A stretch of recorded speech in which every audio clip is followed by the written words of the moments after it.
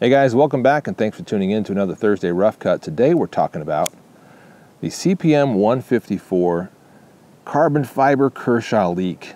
This was introduced at SHOT Show 2017. Um, I was drooling over it. Some of you guys are drooling over it as well, especially some of you guys who are big fans of the Leek. And speaking of the Leek, I've done a review in the past of the Leek.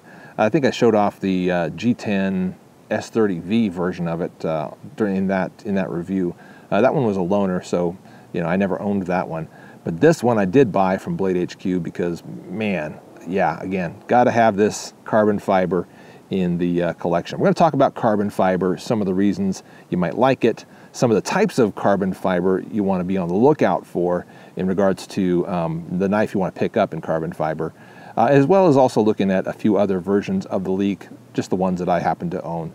So Starting off, looking at this version of the Leek, we can see that we have a nice stone wash finish there. Very beautiful. We got some harsh light today. Sorry about that. I hope you guys don't mind too much.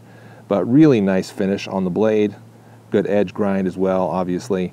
And that nice little sweep right here. Not every version of the Leek has that. Some of them are more of a right angle. I'll show you that here in a second. But the ones that have this cool little sweep to it, aesthetically just are really, really nice looking. Construction, you see the, uh, the thumb studs, which also act as a, um, a blade stop on the frame. So what I mean by that is, in, in many cases, what uh, a knife will have is some kind of a stop pin right here to stop the, uh, the blade tang from, or the, I guess the back of the blade, spine from going any further. Could be argued whether it's the tang or the spine, but in any case, it doesn't go any further because there's a stop pin there. In the case of designs like the Leek and a few others from Kershaw, these thumb studs actually act as the stop pin. Okay, they stop the blade from traveling any further against that frame, stopping it right there, and then locking in with the uh, liner lock in this case uh, to keep the blade in place. And how's the lockup? Real good, real good. How's the centering on it? Let's look at that real quick. Not perfect, not perfect, but not bad either. Not for me. I'm not extremely picky as long as it's not going against and, and kind of rubbing the side of, um, of the liner there. And uh, for the money, I, am not going to complain too much. This is a USA made Kershaw. Um, again, carbon fiber, CPM 154, just, just gorgeous. But uh, I'm happy with the construction of it, happy with the look of it. Full flow through? Nope, not full flow through. I knew that. A little bit of a backspacer there as you see and that is uh, held in place by those three screws. So you can take it, take down and disassemble this knife if you want to. Um, safety on it, which I do use because um, I don't know, I just tend to. And also the pocket clip is repositionable to here. I never reposition these on the Leek though. I always carry them tip down. Uh, some folks are die hard one way or the other, gotta be tip up or gotta be tip down. I'm very flexible on that actually kind of like my sodas. I mean, I, I drink, I, am a soda drinker, guys. I just am. It's just not, it's not going to stop anytime soon.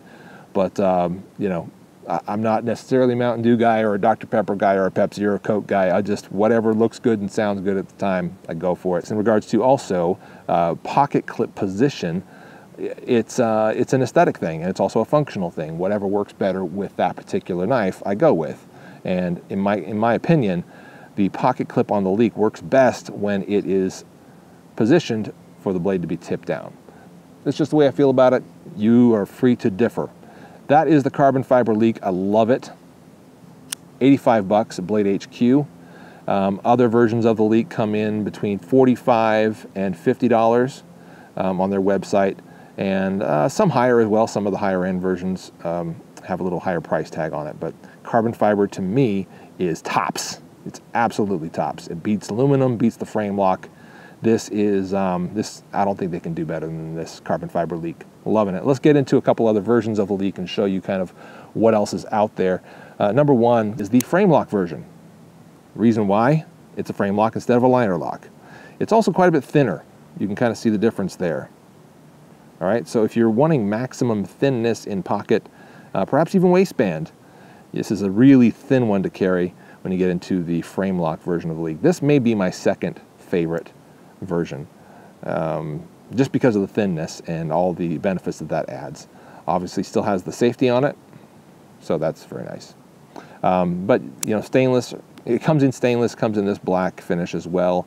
and uh, that uh, the frame lock in general is just a real nice version. Slightly heavier, don't have the exact weight on them, but it is slightly heavier because of that, uh, that steel frame to it.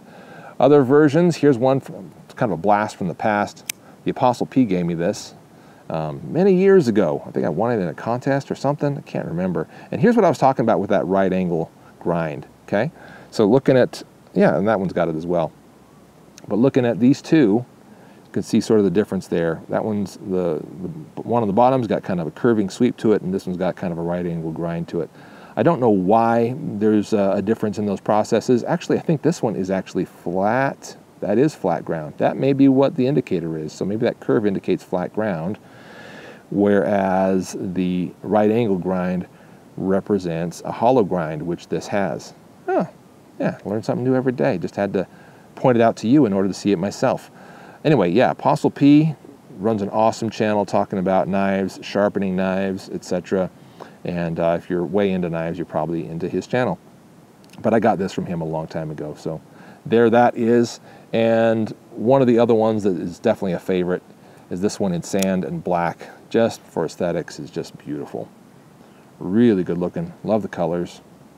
I don't think I've even ever carried this one. I may have to change that. Yeah, uh, no more virgin knives. Got to get them out and use them.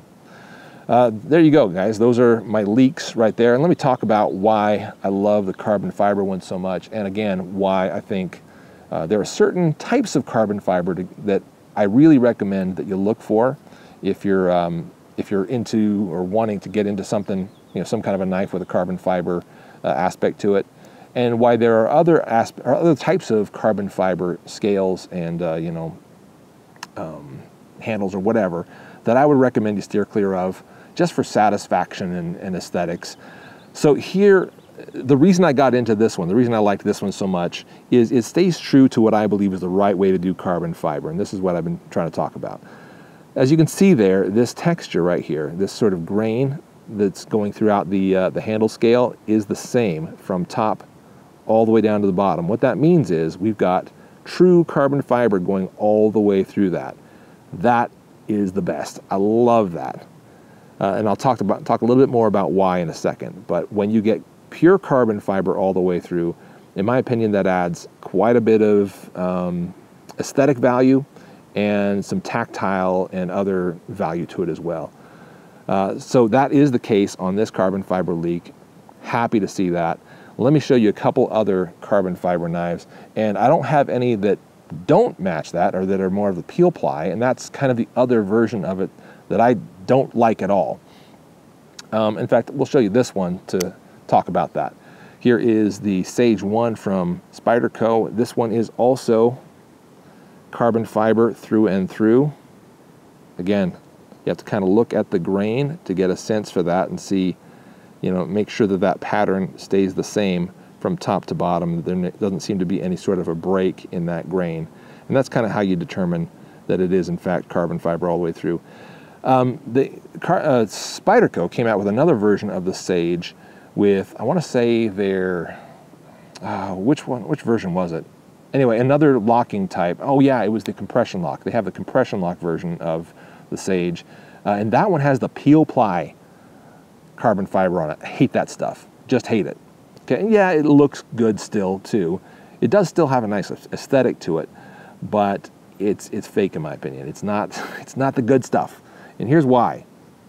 So I don't know if I'm going to be able to show you this or capture this sound wise. Probably not.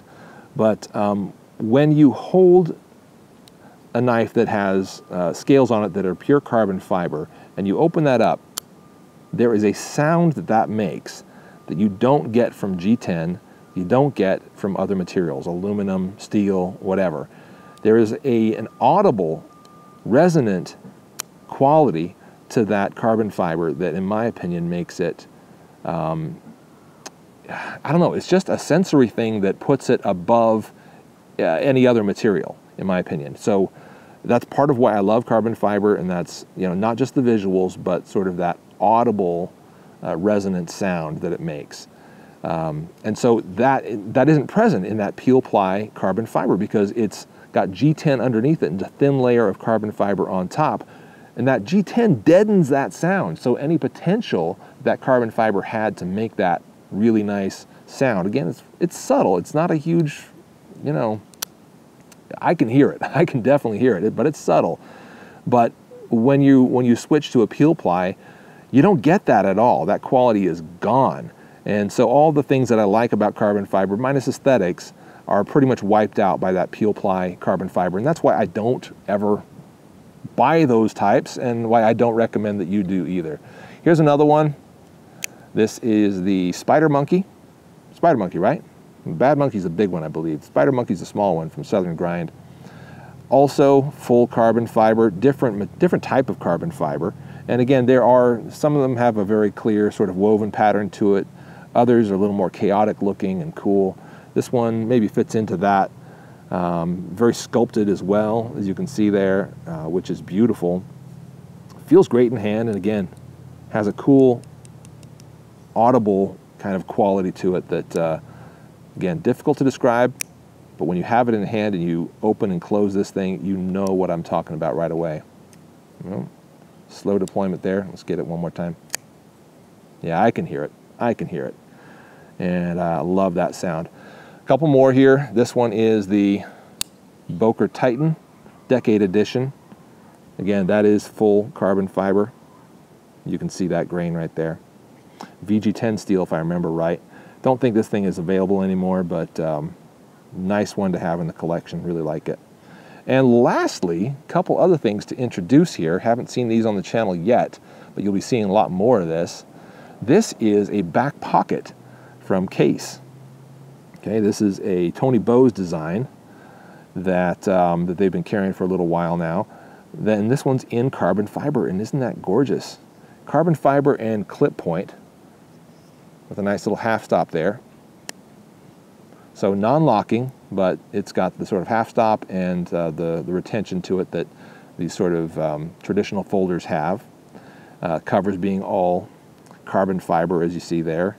A really nice, smooth walk and talk to it. Oh, very clear. Very clear stops, powerful, strong stops on it. Really like the way this one feels. So um, as a traditional folder, this has got some great quality to it. Really liking it so far. Um, and I've been kind of getting into case knives after having met with them at SHOT Show 2017. They sent me a couple of their knives. I picked up a few more. And uh, you're going to be seeing some of those in video very shortly. But I wanted to take sort of just a moment to sort of introduce at least that one, the carbon fiber back pocket. And there are others uh, that I currently have that I'm trying out that I'll be showing you soon too. This one in, oh, I don't want to get it wrong, chestnut bone, that's what it is, smooth chestnut bone. This is a mini trapper, I believe it's a trapper. Yeah, mini trapper pattern with smooth chestnut bone covers. Uh, real good action on this one as well. Oh yeah, nice firm stop there. And uh, on the spay blade, oh nice. Yeah, good, smooth movement, nice firm stops to it. Love these traditional folders from Schrade. Uh, great affordable, you know, traditional folders that have terrific aesthetic to it. Um, good fit and finish for the money. Not perfect, certainly not perfect. Um, you, you, to get the kind of perfection that a lot of people want, you kind of have to go with the with the customs, and they're they're kind of hard to pick up, kind of hard to find, and and very very spendy. But um, for the money you're going to spend on these case knives, you're going to get some great quality, and uh, just some really sexy, really cool looking um, pocket folders, traditional pocket folders. So again, more coming from case knives in the future. But uh, this video isn't about case knives. It's about the carbon fiber Leek, kind of what you ought to be on the lookout for in regards to carbon fiber in general and why I think the carbon fiber Leek is just tops, man. This is the best one they've come up with, in my opinion. Loving it. Going to be using it, going to be carrying it, uh, have used it, have carried it for a little while now. Um, and yeah, it, it, kind of run, it kind of jumps in with the collection of leeks that I have that um, are kind of go-to knives when I want something small, something sleek, something sexy, um, unobtrusive, fast with that lightning quick, speed safe action and flipper. um, and something with some great potential to do fine detail work with. That needle fine point on it. Oh, so much more I could say about the Leek, but we're going to try to stop it here. All right, guys, that's the rough cut for today. Thanks so much for watching. I'm Late Boy Scout. We'll see you later.